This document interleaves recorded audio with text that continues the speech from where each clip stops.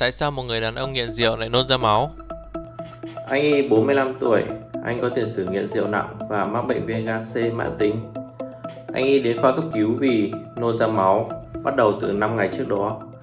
Khi vừa vào viện, các bác sĩ đã nhận thấy bệnh nhân kích thích vật vã, da lên mạc nhợt nhạt và vẫn còn nôn nhiều, nôn ra máu. Nhịp tim nhanh 140 lần trên phút và huyết áp thấp 87 trên 36 mm thủy ngân.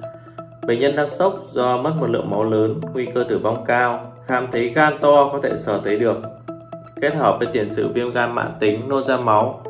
Đây là các triệu chứng cho thấy suy gan giai đoạn cuối.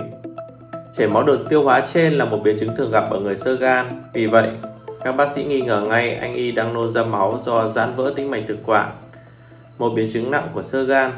Đánh giá tình trạng bệnh nhân nặng, nguy cơ tử vong cao, bệnh nhân được chuyển đến khoa hồi sức cấp cứu.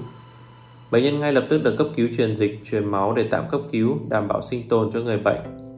Nếu cơ thể không đủ máu nuôi dưỡng, các cơ quan quan trọng như não và tim sẽ bị suy và chết đi. Vì vậy, sau đó bệnh nhân được khẩn cấp đi nội soi thực quản dạ dày. Kết quả nội soi cho thấy giãn tĩnh mạch thực quản, máu chảy dì dả từ một tĩnh mạch tăng áp lực suốt đoạn trên dạ dày. Bệnh nhân được điều trị bằng biện pháp thắt hai dây cao su. Hiểu đơn giản như là chúng ta buộc túm đầu mạch đang chảy máu để nó không chảy thêm nữa. Sau đó bệnh nhân ổn định, không có diễn biến gì nặng thêm và tiến triển tốt dần. Bệnh nhân được xuất viện sau 14 ngày điều trị. Các bạn tưởng đến đây là hết rồi đúng không?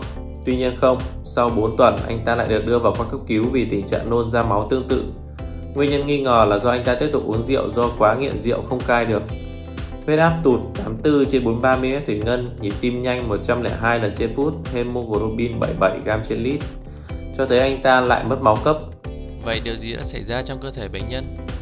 Liệu các bạn có tò mò tại sao bệnh nhân lại bị như vậy? Nếu có, hãy đợi xem video đầy đủ sẽ công chiếu trên kênh vào tối ngày mai hoặc ngay bây giờ hãy truy cập kênh youtube Dr. Minion subscribe và xem đầy đủ video đường link dưới mô tả